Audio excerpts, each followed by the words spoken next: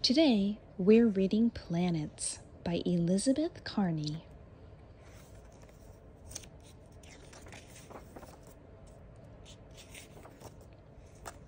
What's a planet? Circle, circle in the sky, you're bright enough to catch my eye. You're not a star, but a place where gas or rocks swirl in space. Space clues Gas, something that has no shape or size of its own. Gas can spread out into the space around it. Star, a huge ball of hot gas that makes heat and light. Hello, planets. When you look up high in the night sky, you might see lots of bright lights. Most of these lights are stars. Space clues. Orbit. The path an object follows around another object, such as a star. Reflect. To bounce back. Most stars have planets moving around them. Planets are round objects that orbit a star. They don't create their own light, they only reflect light from stars. The Sun. The Sun is our star. Our planet Earth orbits the Sun. The Sun makes a lot of heat and light. Don't look directly at the Sun, it could hurt your eyes.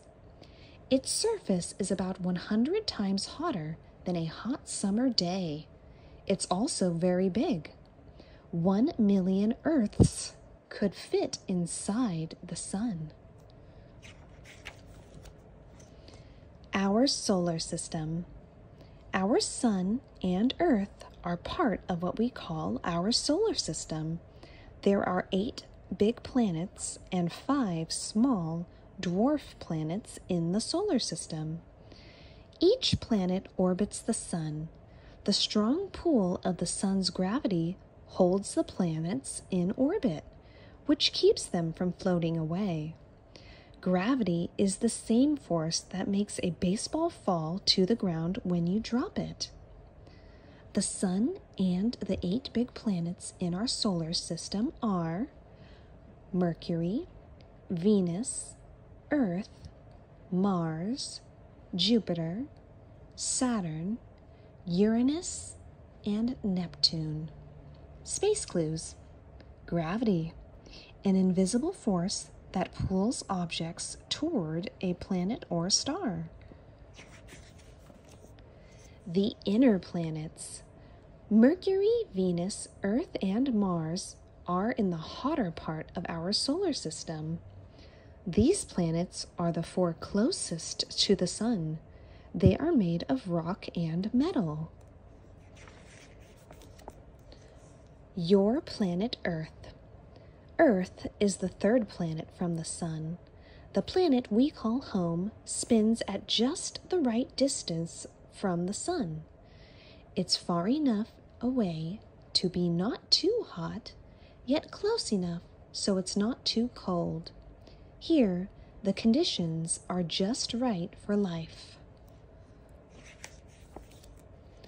The gas giants. Beyond the rocky inner planets, there are four gas giants. They are Jupiter, Saturn, Uranus, and Neptune. These huge planets are made of big clouds of gas and liquid. Gravity pulls the gas and liquid into a planet shape. All gas giants have rings. The rings are made of mostly ice and dust.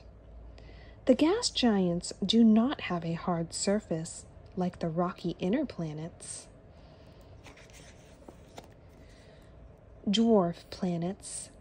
Dwarf planets are planet like objects that are part of our solar system. They are much smaller than regular planets. A dwarf planet can be round or egg shaped. Unlike regular planets, dwarf planets may share their orbits with other space objects.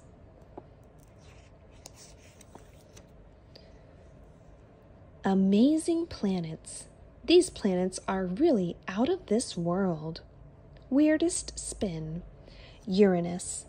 This planet spins on its side, rolling like a barrel instead of a top. Windiest weather. Neptune. Winds on Neptune blow much faster than Earth's strongest hurricanes. Longest lasting storm. Jupiter. The great red spot is a hurricane on Jupiter. It has been blowing for more than 400 years. Hottest planet, Venus. This is the solar system's hottest planet, even though it is not the closest to the Sun. A thick layer of gas around Venus makes it super hot. Tallest mountain, Mars. Mars is the home of the solar system's largest volcano called Olympus Mons. It's as tall as three Mount Everests stacked up. Moons galore.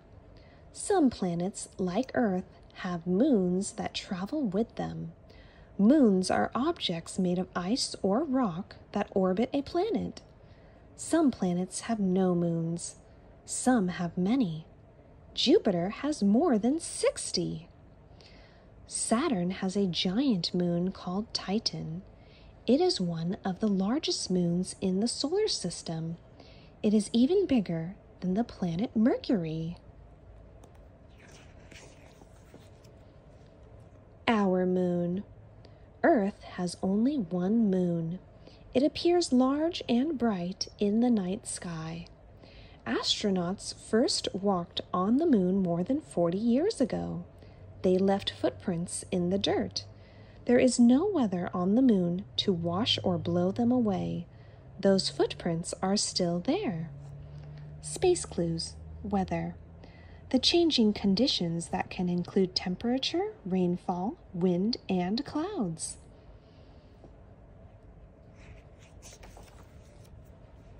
Exploring space. Scientists have many ways of studying planets. One is to visit them.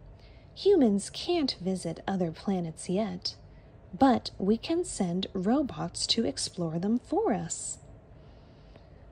Robots called rovers have been sent to Mars. The rovers carry cameras and tools. They can take photographs and videos too the rovers send information back to Earth about what they see. There are other ways to learn about planets too. Powerful telescopes allow us to see planets and moons even though they are far away. Space probes also collect information about planets. These spacecraft take pictures. They measure light and temperature too. With these tools, scientists make exciting discoveries about other worlds. What will we learn next? The end.